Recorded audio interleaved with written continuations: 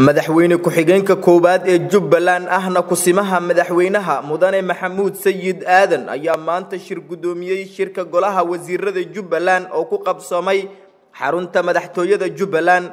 Madaxweyne ku-xigeenka iyo xubnaha golaha wasiirada ayaa ka tacsiyeeyey dadkii ku dhintay weerarkii ay kooxda argagixisada al-shabaab ku qaadeen hotel xayaad ee magaalada muqdisho sidoo kale shirka ayaa looga hadlay qorshaha howlgalka midaysan ee la dagaalanka argagixisada iyo horumarinta amniga deegaanada jubbaland. Waxaana la go'aamiyey in la dhiso saddex guddi oo kale ah guddiga hogaaminta qorshaha midaysan ee la dagaalanka argagixisada iyo horumarinta amniga jubbaland guddiga taakulaynta iyo guddiga abaabulka iyo wacyigelinta. Waxaana guddiyadan ay dhammaantood noqonayaan heerka golaha fulinta iyo golaha sharci dejinta ee jubbaland sidoo kale kulanka ayaa waxaa warbixin looga dhageystay wasaaradda cadaaladda awqaafta iyo arrimaha diinta jubbaland waxayna ka warbixisay in dhowaan bilaabi doonto howlgal lagu soo afjarayo dhaqamada xunxun iyo maandooriyaha oo ku badanaya magaalada kismaayo. Markii uu shirka soo idlaaday ayaa waxaa warbaahinta uga warbixiyey qodobadii looga hadlay wasiirka warfaafinta jubbaland saleebaan maxamed maxamuud. Hadaljeedinta madaxweynaha dhinaca siyaasadda ee amniga waxaa lagu soo qaatay kow.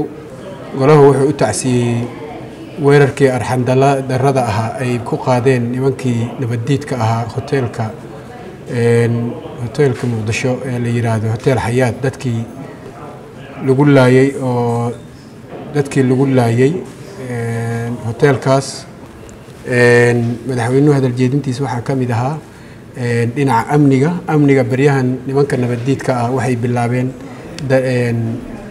dagaal dadban oo ah kaasoo ay maxaa tiraahdaa deegaanka jubbaland ay miina dhigis ku sameeyeen jidkii shacabka ay mari lahaayeen. Sidaas la-alligeed arrintaasu waxaa ku dhintay dad fara badan waxaa ku dhaawacmay dad fara badan iyo xoolo iyo dameerihii ay raranayeen dadka reer baadiyaha. Iyadoo laga duulayo dhibaatada shacabka gaaray darteed ayay maxaa tiraha guddiga amniga dowlad goboleedka jubbaland shir deg deg ah oo aan caadi lahayn caadi ahayn bay ka fariisteen. Kadib waxaa laga soo saaray qodobo dhowr ah. Qodobadaas waxaa ka mid ah kow in laga hortago nimanka miinada dhigaya oo loogu tago meesha ay ka yimaadeen sidaas la-alligeed waxaa loo diray ciidan howlgal ah isla markaaba ciidankii waxay ku guuleystay inay soo saaraan shan iyo labaatan miino oo ay dhigeen jidka cabdilla baroole ilaa iyo jidka maxaa tirahdaa beerxaani intaas ayaa waxaa laga saaray shan iyo toban miino oy ugu rabeen ay ku rabeen inay maxaa tiraha ku laayaan dadka shacabka ah. Sidaas la-alligeed waxaa lagu guuleystay in laga hortago nimanka dhiga argagixisada maxaa tiraha arxaanlaawayaasha miinada ay dhigayeen ayaa duulaan meesha ay ka soo duulayeen ay miinada ka dhigayeen baa loogu duulay. Kadib waxaa laga soo qabtay ilaa iyo dhowr dhowr miino iyo mootooyinka ay isticmaalayeen. Kadib golaha amnigu wuxuu soo saaray go'aan ah in la sameeyo maxaa tiraha howlgal midaysan. Golaha amnigu waxay go'aamiyeen maxaa tirahdaa howlgal midaysan howlgalkaasoo maxaa tirahdaa la yiraahdo howlgalka midaysan ee ka hortagga argagixisada iyo xasilinta nabadda.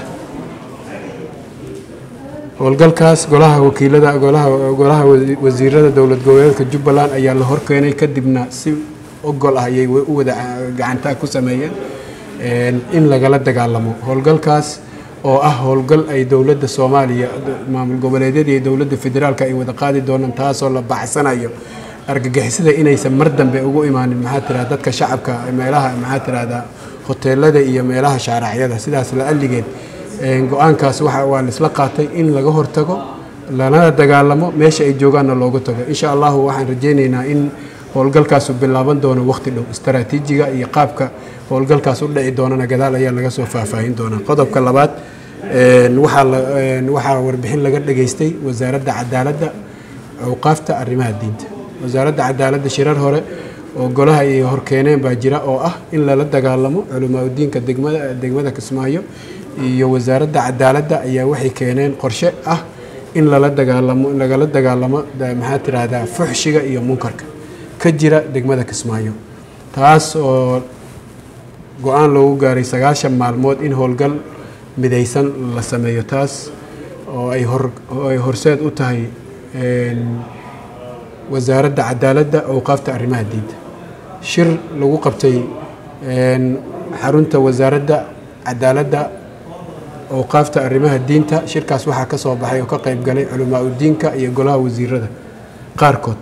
Shirkaas waxaa ka soo baxay qodobo dhowra koow in lala dagaalamo fuxshiga iyo waxaa laisla qaatay in laga hortago dhammaan ka xukuumad ahaan iyo ka shacab ahaan iyo culamaa udiinkaba dhammaan inay u istaagaan nin walbaba meesha kaga aadan inuu kaga hortago faxshiga iyo munkarka iyo maxaa tiraa waxyaalaha xun ee diinta aanan qusayn.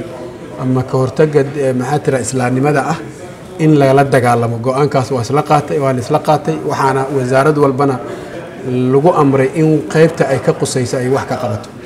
Arintaas waa lagu guuleystay waa la isla qaatay. Sidaas la adligeed